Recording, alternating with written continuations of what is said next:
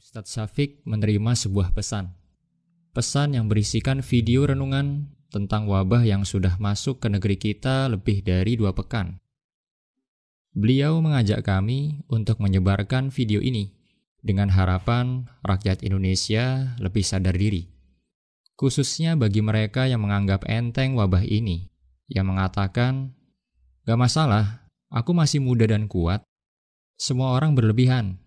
Setiap penyakit pasti ada obat. Ngapain takut sama corona? Takut aja sama yang punya akhirat. Saudara, simak videonya, ambil pelajaran darinya, dan sebarkan ke keluarga, kerabat, dan teman-teman Anda. Ini dia videonya.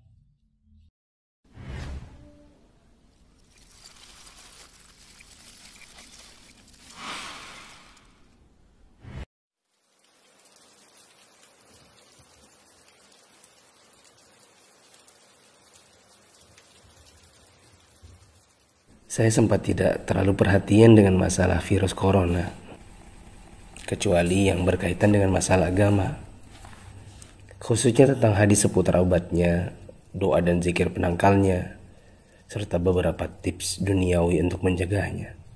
Mungkin karena saat itu corona belum hadir di Indonesia. Beritanya masih sekitaran Cina. Isinya tentang perjuangan pemerintah dan tenaga medis melawan corona di sana. Itu tergambar dari foto wajah tenaga medis yang memerah bekas masker dan kacamata. Saya hanya sebatas mengerti betapa beratnya tugas mereka. Saya sempat jengkel saat melihat video warga Iran yang menjilati pagar kuburan dan membaca tulisan tentang rakyat Italia yang dinilai sangat meremehkan. Tapi itu pun hanya sambil lalu karena Positif pertama di Indonesia pun belum kedengaran. Tanggal 2 Maret 2020 yang ditakutkan pun terjadi. Pasien corona pertama di Indonesia diumumkan oleh Presiden Jokowi. Inilah takdir Allah yang harus sabar dihadapi. Pandemi corona telah memasuki negeri ini. Jumlah pasiennya bertambah hari demi hari. Gambar-gambar mirip dengan yang di Cina bermunculan di grup sana sini. Ada bekas alat pelindung diri tergurat di pipi. Tenaga medis bicara dengan kertasnya. Kami kerja untuk kalian, mohon kalian tetap di rumah untuk kami. Ada juga yang bunyinya, haus, ingin minum, tapi gak berani. Seorang dokter yang sudah sepuh dalam balutan baju perang seolah berkata, Jikapun ajal datang, tidak mengapa. Karena raga yang sudah tua ini memang harus ikut berjuang, tidak hanya bisa berdiam diri. Ikatan Dokter Indonesia menyampaikan bela sungkawa karena tujuh orang dokter di garda depan meninggal. Lima dari mereka wafat karena tertular virus ini. Seorang dokter muda hanya berdiri di luar pagar saat menemui keluarganya karena takut membawa virus dari luar. Meskipun foto ini aslinya dari Malaysia. Ternyata APD medis harganya sangat mahal. Dan sekali pakai saja. Saking krusialnya, para ulama dan ustadz-ustadz yang mumpuni ilmunya sampai mengeluarkan fatwa. Bolehnya tim medis sholat tanpa wudhu tanpa tayamum. Lantaran pelindung dirinya tidak boleh sembarang dibuka. Tak hanya itu, ada juga fatwa sahnya sholat meskipun ada najis. Karena baju medis ini bukan baju biasa. Sekali dipakai untuk satu shift jaga, berjam-jam tanpa makan, minum, bahkan buang air dengannya menggunakan pampers orang dewasa. Bayangkan lagi jika dokter dan perawat wanitanya adalah ibu atau saudari kita yang sedang mengalami datang bulan.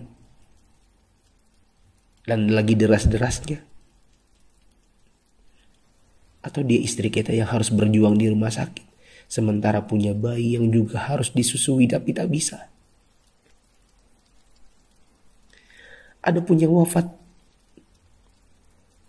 mayatnya tidak bisa dimandikan, bahkan tidak ditayamumkan seperti biasa. Hanya disolatkan dan dikubur bersama plastik membungkusnya melihat dan membaca berkali-kali, saya pun akhirnya bisa memahami dengan hati. COVID-19 ini bukan sakit biasa. dan tugas tenaga medis sangat berat terasa. Kalau bukan karena tidak ingin ditanya keluarga ada apa, saya banyak mengalirkan air mata. Untuk pasien positif corona dan keluarganya, sabar ya. Insya Allah sembuh tidak lama. Jika bersabar, kita dapat pahala. Di rumah dulu sampai negatif. Kasihan jika virus ini menular ke orang lain apalagi kepada yang punya penyakit penyerta dan lanjut usia. Untuk yang harus keluar dan tidak ada pilihan kedua, semoga Allah memberikan saya dan teman-teman keselamatan dan rezeki untuk keluarga. Jaga kesehatan ya. Usahakan jaga jarak dengan orang di sekitar kita. Kita tidak tahu siapa yang tertular, siapa yang sehat. Karena yang positif corona pun bisa jadi tidak merasa karena tidak ada gejala untuk yang masih abai dari solidaritas bersama. Saya ingin mengetuk pintu hati dan meminta waktu teman-teman sebentar saja. Yuk kita berpikir bersama. Jika teman-teman menggunakan media sosial atau punya kotak kaca media massa, teman-teman pasti sudah mendengar berbagai penjelasan wabah yang melanda. Pemerintah, dokter, para pakar sudah bicara dari wawancara hingga rekaman video HP sederhana, para ahli statistika mengemukakan data dengan tabel, grafik, dan semua media yang mereka punya. Teman-teman pun tinggal ketik halo di WA COVID-19 dan bertanya dengan input satu huruf saja. Jika data itu jelimet untuk dibaca, mungkin teman-teman bisa nonton versi kartunnya. Semua tenaga sudah dikerahkan oleh berbagai kalangan untuk membuka mata hati kita.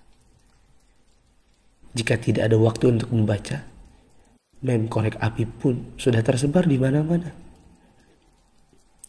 Sampai-sampai ada yang berpikir, mungkin kalau simulasi penularan virus corona ini pakai video game, barulah anak muda yang meremehkan corona akan mengerti dan percaya. Mereka pun membuatkan potongan video gamenya. Artinya, jika usaha seperti ini masih belum menyadarkan kita, entah dengan cara apa lagi. Apakah tongkrongan kita butuh ditembaki dengan gas air mata baru kita mau meninggalkannya? Pemerintah tidak minta uang dari kita. Mereka hanya ingin kita mengikuti arahan mereka. Untuk yang menimbun dan menipu. Semoga Allah memberikan teman-teman hidayah dan memaafkan dosa-dosa kita semua dan menimbun barang yang dibutuhkan masyarakat saat masa sulit itu termasuk dosa. Rasulullah Shallallahu Alaihi Wasallam bersabda, layah takiru ila khoti. Tidaklah menimbun barang kecuali orang yang berdosa. Terlebih lagi bila menipu dan berdusta. Kami hampir tertipu dengan penawaran masker murah yang tadinya kami akan bagikan gratis kepada orang-orang yang membutuhkannya. Di mana hati kita? Apa kita bisa tertawa saat orang lain menderita? Teman, turunkanlah harganya ke harga normal jika engkau tidak bersedia menggratiskannya. Seperti pahlawan jalanan yang membagikannya. Untuk yang kaya. Kaya yang sesungguhnya itu adalah jika harta itu bermanfaat bagi orang di sekitar kita. Bukan hanya untuk pribadi semata. Yakinlah kekayaan, saldo ATM, rumah miliaran, outfit jutaan, mobil mewah, memang membuat kita besar di mata manusia, tapi tidak ada artinya di sisi Allah yang Maha Kaya jika tidak menghasilkan amal dan pahala. Saya mau sumbang jam tangan dan beberapa barang lainnya yang mungkin tidak seberapa jika dibandingkan dengan teman-teman menyumbangkan harta nantinya. Terserah untuk pos dana apa, mungkin masker, mungkin APD tim medis, hand sanitizer, sabun cuci tangan, dan sebagainya. Kita harus cintai harta kita ini dan bawa dia ke akhirat. Jangan sisakan untuk dunia. Untuk Bapak Presiden, BNPB, para gubernur, wali kota, dokter, perawat, ustadz, influencers, dan fundraisers, thanks for all you've done. Terima kasih. Jazakumullahu khairan. Semoga Allah balas teman-teman dengan tambahan iman hidayah dan pahala. hingga kita semua bisa dikumpulkan Sang Pencipta di dalam surganya. Jika menurut teman-teman ada orang di luar sana yang belum tergerak hatinya untuk punya empati kemanusiaan dalam wabah corona ini, coba kirim ke mereka. Siapa tahu setelah ini mereka bangkit mengerjakan amal kebajikan dan kita ikut dapat pahalanya.